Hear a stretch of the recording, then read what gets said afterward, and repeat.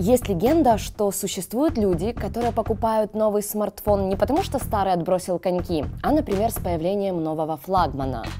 В общем, я не из таких. Я пользуюсь смартфоном до последнего, пока он еще работает.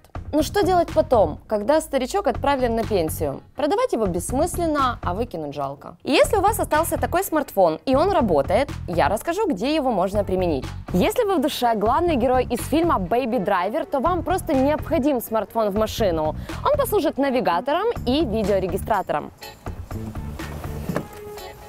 Все просто. Заходите в Google Play и ищите нужное приложение. Это могут быть Google карты, Maps.me или Waze. Та же история и с видеорегистратором. Программ множество. Например, Car DVR and GPS навигатор или Daily Roads Voyager. Дядя, блин, ну куда ты прешь? Переход в пяти метрах, ёкало мене, пройти нельзя! Старый смартфон сгодится и при занятиях спортом. Даже самый медленный сможет посчитать шаги с помощью педометр или калории благодаря Calorie Counter.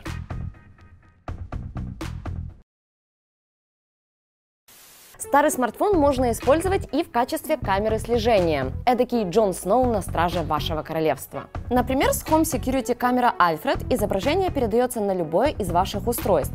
Можно даже сделать сеть из нескольких камер смартфонов. Осторожно!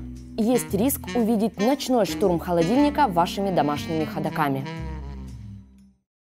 По аналогии работает и Dormi Радио Няня. Любое движение или звук моментально приходят на ваш рабочий смартфон. Если угораете по олдскульным играм, то можно превратить старый аппарат в игровой контроллер. В интернете множество инструкций и приложений типа S-консоль Gamepad или Air консоль. Подключаем смартфон к ПК или телевизору и играем.